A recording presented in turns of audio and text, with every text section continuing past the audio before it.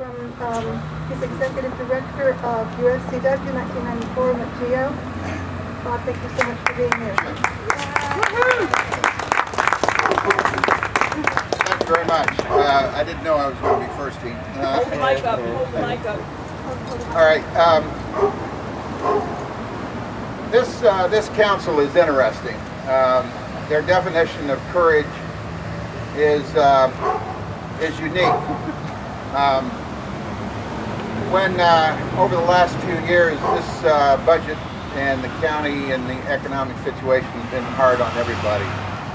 But uh, when cutting social services uh, that affect disproportionately women and disproportionately also women of color, um, when cutting social services, uh, they're defined as being courageous. Uh, when cutting the library budget uh, in two years by 30 percent, um, they're lauded by the Washington Post, etc., as uh, making hard choices. When it comes to their own employees and cutting, not shifting, I mean, not cutting costs, but shifting costs in healthcare and retirement, uh, they're lauded for making those difficult, bold, courageous choices. Um, there's not one of these council members that don't intuitively understand the connection between an outsized, bloated, distorted defense budget and 10 years in Afghanistan and a phony war in Iraq and how that budget distorts social spending and infrastructure spending right here at home. Yet that courage, boldness, difficult choices uh, vanishes. Vanishes in a heartbeat.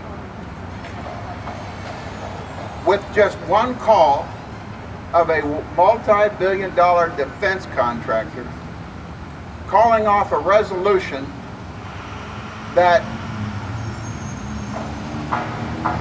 really had nothing but moral weight and political power behind it.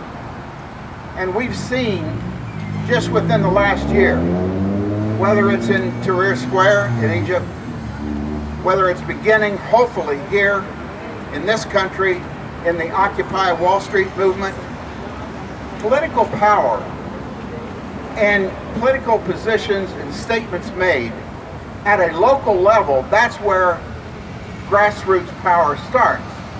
It very seldom starts at the top. Very seldom. It starts at the grassroots level and as in Egypt and throughout the Middle East and here in New York City and Occupy Wall Street, it's fortunately led substantially in the beginning by the young. Those who intuitively know and understand those connections and have the power of their conviction to act on it.